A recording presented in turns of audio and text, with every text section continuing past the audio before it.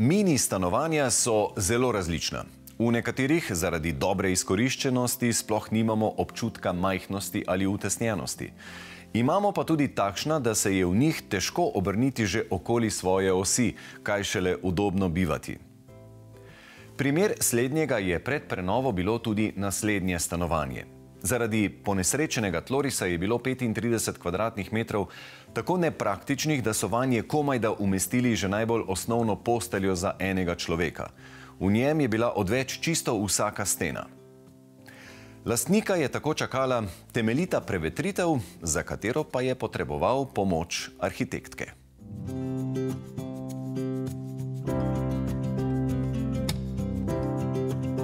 Rek, da iz majhnega zraste veliko, še kako drži.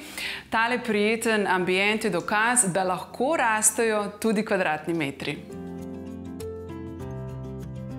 Tina, lepo pozdravljeni. Kakšen je bil tloris tega stanovanja pred prenovo? Torej, kako so bili uh, prostori razporejeni? Tloris tega stanovanja je bil dokaj podoben, samo prostori so bili drugače razporejeni. Uh, se pravi, kuhinja in dnevna je bila večja, Spalnica je bila malenkost manjša, hodnik pa so bile samo stene in vrata. Uh, tako da bi se bil veliko manj funkcionalen, lahko bi rekli, da je bilo nekako polsobno stanovanje za enega človeka, za eno posteljno posteljo. Kako pa ste se potem prenove lotili? Torej, kakšno je razmerje med starim in med novim? Za začetek smo odstranili vse predeljne stene. Uh, bile so malčno kartonske, tako da je bil to še najmanjši problem. Um, smo pa tudi ohranili smo sicer tla, pobrusili smo parket. Inštalacije, kar se je dalo, smo jih pustili na prvotnih mestih, tako da dejansko je bila ta prenova cenovno zelo ugodna, še vedno smo pa dobili maksimalen izkoristek iz tega. Ampak nekaj inštalacij pa vseeno ste premikali. Ko smo podrli stene, smo mislili, da so inštalacije klasično pač iz sten, kot je ponovadi v stanovanjih, in nas je presenetilo, ker so inštalacije dejansko iz stropov. In vse te obstoječe inštalacije so zdaj nad temi umarami, ki so tukaj za nami. In smo jih lepo razpeljali po umarah, tako da v bistvu smo imeli minimalno premikov po stenah. Tako da tudi tukaj bi se smo bili prijetno presenečeni. Cilj prenove je bila želja lastnika, da bi stanovanje postalo primerno za dva. Prvotna spalnica namreč ni omogočala zakonske postelje, tako da so se najprej posvetili temu prostoru. Na mesto odstranjenih sten so v stanovanje umestili velik lesen element v obliki črke L. Z njim so pregradili spalnico in dnevni prostor, na strani spalnice ustvarili walk-in omaro in police o posteli, pod katero so še globoki predali. Na strani hodnika so v ta isti L element umestili garderobno nišo s hranjevalnimi površinami. V vogalu pa je ostalo še dovolj prostora za ugradni hladilnik z zamrzovalno skrinjo, s čimer so povečali funkcionalnost kuhinje. Manjše popravke je doživela tudi dnevna soba. Zaradi rotacije sedežne garniture lahko zdaj med sedenjem gledamo ven in imamo stik z okolico. Torej, če mogoče se ustaviva še pri uh, dnevnem prostoru, ponavadi je televizor tisti element, okrog katerega razporedimo pohištvo. A je bilo tako tudi v tem primeru ali kako drugače? Ja, žal je televizor ponovadi tisti, ja. ki narekuje postavitev dnevnega prostora in temu se podredi vse ostalo. Ne?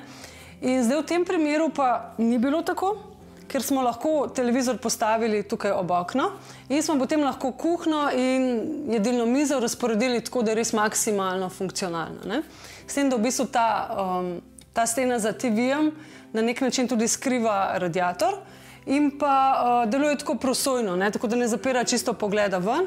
Uh, tako da se mi zdi, da smo zelo lepo ta del rešili s tem, da je tudi umara na nogicah, tako da zelo je malo bolj zračno, spodaj gre svetloba čez, ker v bistvu v manjših prostorih, v manjših stanovanjih je zelo pomembno, da ohranimo svetlobo, da so pač svetla, da so barvni toni čim bolj neutralni, usklajeni in pa da je čim več umar. Tako da lahko stvari pospravimo v umare, da res deluje tako zračno, urejeno. Kot shranjevalno površino so izkoristili tudi balkon, ki meri 11 kvadratnih metrov. Nan so umestili utility omaro, v kateri so shranjeni sesalnik in drugi pripomočki za čiščenje, hkrati pa so na balkon umestili še mizo in stole za posedanje in druženje ter nekaj zelenja. Rolete, s katerimi se da balkon zasenčiti, preprečujejo poletno pregrevanje in uravnavajo svetlobno vzdušje v stanovanju. Kaj pa svetila? Ne? Veliko jih je, različna so, ampak vseeno imajo nek poenoten slog, ne? lahko rečemo. Uh, svetil je, lahko rečemo, kar veliko, ampak ima vsako svoj namen. Ne, se pravi, tukaj pri sedežni potrebujemo svetilo, ko beremo. Um, nad sliko, da malo tako indirektno osvetli prostor, nad mizo smo ga premaknili kar z vidnim kablom, tako da bi se spet ni bilo potrebno premikati inštalacij. Uh, pri pultu, ker pač nimamo osvetlitve direktno zgoraj, imamo stensko. In pa uh, na hodniku je tudi ena indirektna, se pravi po noči, ko gremo na WC, da ne prižigamo tiste tavelke in se zbudimo. In pa tudi v posteli imamo bralna svetila in pa v bistvu ambientalno svetilo. Tako da v bistvu posod je poskrbljeno za funkcionalno svetilo in pa za tisto ambientalno. Kvadratura stanovanja je majhna, ampak kljub temu uh, stanovanje deluje zelo zračno, prostorno. Omenili ste že, naprimer, uh, omarice na nogicah in tako naprej. Kateri so še tisti triki, ki jih lahko uporabimo, da uh, torej povečamo, navidezno povečamo kvadraturo? Eno so recimo svetli toni, poenoteni po celem stanovanju. En tak dosti ključni element so tudi ogledala, ki tako optično zelo povečajo prostor. Zato smo tudi ta prehod naredili z ogledali. Eno je pač vertikalno ogledalo, da se pogledate, ko greste v doma. Uh, eno je potem spet manjše, tam v niši.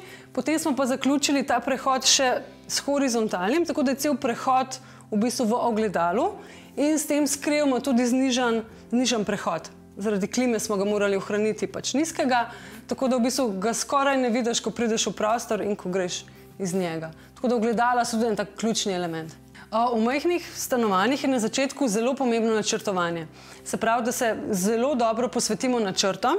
To pomeni, da moramo spoznati naročnika, da pove svoje želje, katera stvar mu je v prostoru pač prioriteta. Ne? Nekateri se radi družijo, bi v tem primeru imeli radi večjo mizo, ne? nekateri sploh ne gledajo televizije, mogoče ne bi potrebovali tega sedežnega kotička. Ne? Tako da to je osnova za male stanovanja, dobro načrtovanje, oprema po meri. Um, in pa v bistvu tudi zelo dobro sodelovanje arhitekta in pa v bistvu naročnika. No? Tako da res lahko dobimo maksimalno izkoristim vsak centimeter, še vedno pa da je prostorno in pa udobno.